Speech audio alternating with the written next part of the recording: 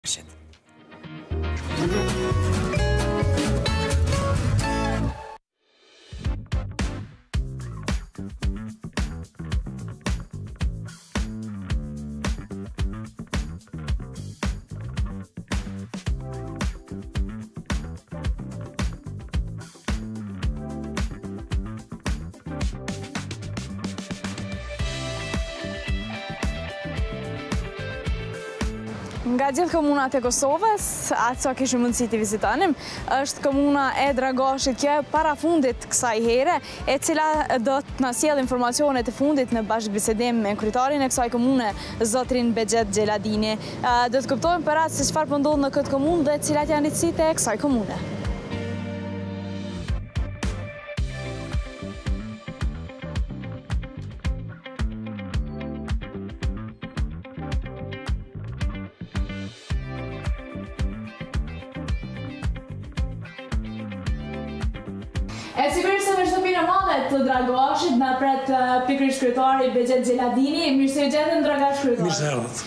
Fillimisht si është komuna e Dragashit?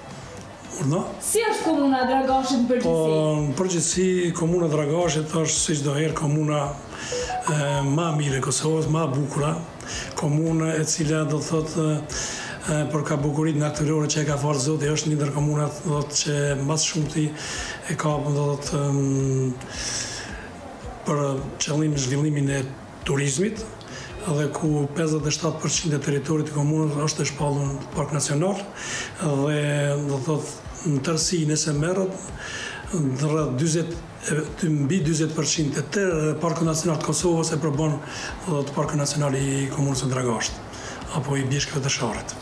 Cilat janë projektet për të cilat jeni duke punu gjatë gjithë kohës, jeni shumë aktiv gjatë gjithë kohës jeni duke punu bashkë me stafin e juaj, mirëpo cilat janë planet konkrete me të cilat jeni duke u marrë për momentin? Momentalisht jemi duke u marrë me debate publike me qytetarë për përgatitjen e buxhetit për vitin dy mijë e njëzet e katër dhe na deri tash i kemi majtë katër takime debate me qytetarët e komunës së Dragashit. Sot e kemi pas një takim shumë të frytshëm, ku kemi pas mbi afër mbi pesëdhjetë pjesëmarrës në sallën e Asamblesë Komunale dhe ku mbi nëntëdhjetë për qind të pjesëmarrësve kanë qenë femra. Do të thotë ka qenë sot një debat publik me gjininë femërore edhe me të rinjtë e komunës së Dragashit, ku unë si kryetar e komunës i komunës e kam shpalosë buxhetin e vitit dy mijë e njëzet e katër, ku planifikohet që vitin e ardhshëm të shpenzohen rreth dy milionë e njëqind mijë euro, ku pjesa më e madhe e këtyre mjeteve do të jetë nga për paga mëditje dhe shtesa, kurse katër milionë e gjysë euro do të jenë mjete për investime kapitale. Na tash i kemi ba të gjitha përgatitjet për që në shtator të mbajmë asamblenë komunale ku do të miratohet përfundimisht buxheti i vitit të ardhshëm dhe na i kemi përgatit edhe propozim projektet që do të implementohen në terren, në komunën tonë,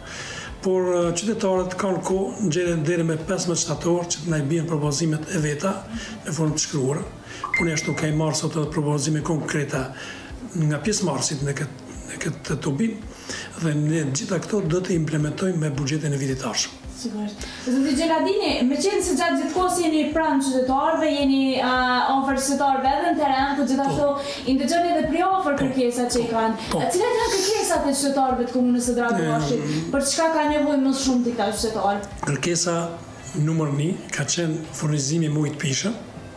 Dhe kjo kerkesë osht që nga viti një mijë e dy mijë e dymbëdhjetë. Qeveria e kaluar e ka bo projektin e këtij investimi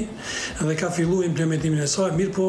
nuk ka mujt ta përfundoj edhe as ta filloj këtë projekt dhe landa deri vitin e kaluar ka qen në OSHP.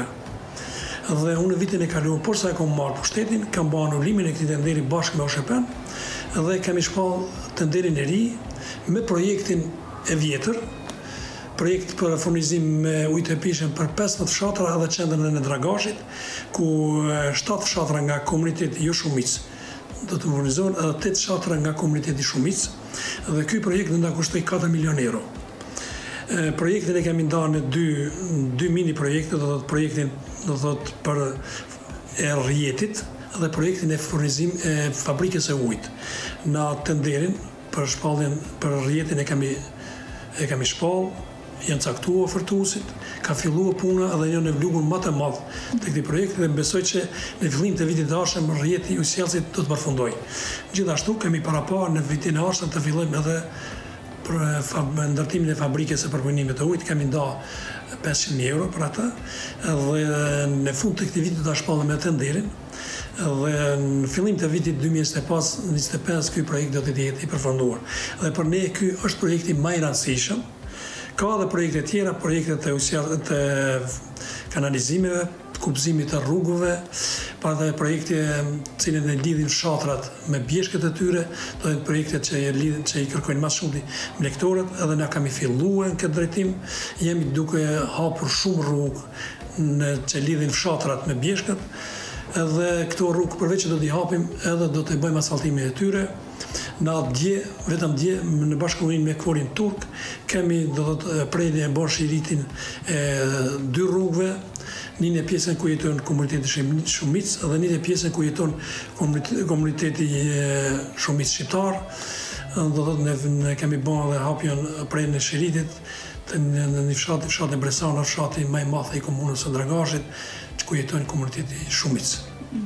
Zoti Xheladini, sigurisht se edhe komuna e Dragashit ka projekte të cilat jeni duke punuar për vendin gjatë gjithë kohës, mirëpo cilin e vlerësoni ndoshta ndër projektet më të mëdha përveç projektit me ujë të pijshëm i cili pritet të përfundojë në vitin dy mijë e njëzet e pesë? Çka tjetër po bëhet për ta qytetarët e komunës. Ne jemi duke punuar vazhdimisht në të mirën e qytetarëve tonë, kemi edhe shumë shumë projekte të cilat janë duke u realizuar në terren dhe në çdo fshat kemi projekte,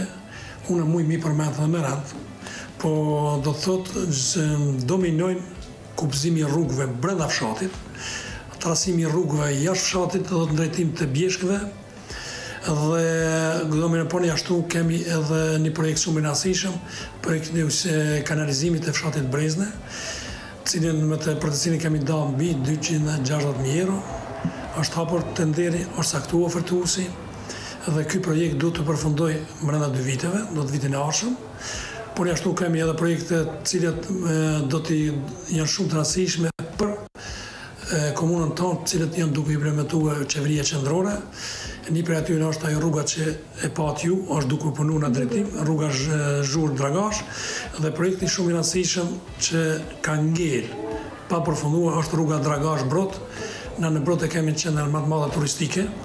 që është qendër edhe turistike edhe ndërkombëtare, por rruga që tri vite, që tri vite është nis edhe hala është e bllokuar. Është duke u punuar me një në një ritëm shumë ngadaltë, na para disa dite e patëm edhe Presidenten e Kosovës në vizitë këtu, edhe këto shqetësimet tona ia paraqitëm edhe asaj, që do të thotë përveç kësaj rruge i kemi, ia paraqitëm edhe disa shqetësime tjera, që unë mund t'i përmend edhe këtu, po rruga Dragash-Brod është rrugë e cila duhet Patjetër të përfundojë urgjentisht këtë vit, për arsye se nuk ka kurrfarë pengese tjetër, punëkryesi është i zgjedhur, mjetet janë të ndame, nuk është problem prona, nuk është problem mjetet financiare, po është problem se kompania që e ka marrë nuk është duke punuar. Andaj, le të jetë ky kjo intervista e jeme, një nxitje për Ministrinë e Infrastrukturës edhe për kompaninë që të fillojë sa ma shpejt ta përfundojë atë rrugë. Si është puna me me buxhetin kryetar? Unë e di se shumë prej komunave të vogla t'themi njashtu siç është edhe komuna e Dragashit, kohë pas kohe po përballen me me me problematika financiare, të cilat në fakt po pengojnë edhe në krijimin e shumë planeve edhe shumë projekteve të mëdha. A po përballet edhe Dragashi me të njëjtat problematika? Po, si çdo komunë e Kosovës, e sidomos komuna Dragashi ku është komunë e varfër, ku të hyrat tona janë diku pesëqind mijë euro, Do thotë kemi nevojë për buxhet shtesë, kemi ba kërkesa në qeveri që të na ndihmojë sidomos në rrjetin e ujësjellësit që të participojë edhe qeveria, por deri në këtë moment nuk kemi përgjigje, por megjithatë nëse buxheti menaxhohet mirë, planifikohet mirë, harxhohet mirë, nuk keqpërdoret, janë mjete përafërsisht mjaftueshme për funksionimin e komunave të Kosovës, por na kemi edhe disa probleme tjera, thash pesëdhjetë e shtatë për qind e territorit tonë është e shpalla Park Nacional, i cili po pengon zhvillimin e turizmit, gjithashtu krejt tokat punuese, jo punuese, djerrinat janë në kontest gjyqësor me AKP-në, edhe që dhjetë vite me AKP-në nuk po mundemi me zgjidh këtë problem, edhe pse kanë ba landa është në Dhomën e Posaçme të Gjykatës Supreme, edhe pse unë i kom ba dy urgjenta që Gjykata Supreme t'i merre parasysh këto kërkesa tona, ende nuk i ka marrë këto parasysh, edhe këto, do të thotë, mungesa e pronësisë edhe vendimi i gjykatës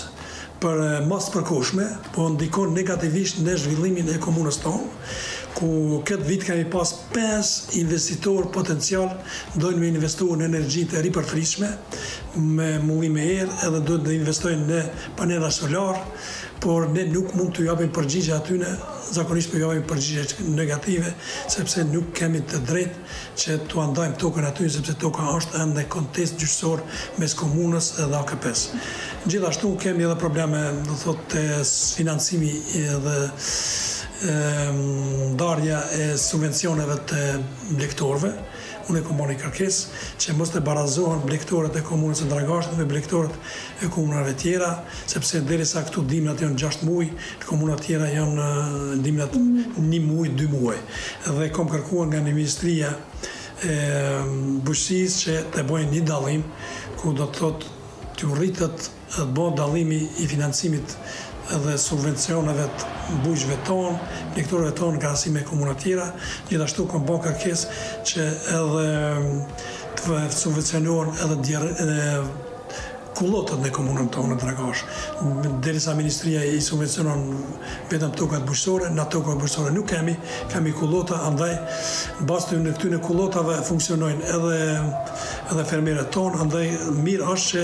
të ndrojë politikat e subvencionimit që. Edhe të kthehet pak vëmendja edhe ka Dragash. Po normal, normal nëse duam që